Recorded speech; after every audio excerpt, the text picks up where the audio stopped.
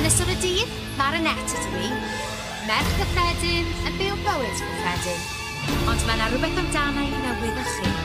A fod gen i gyfrinach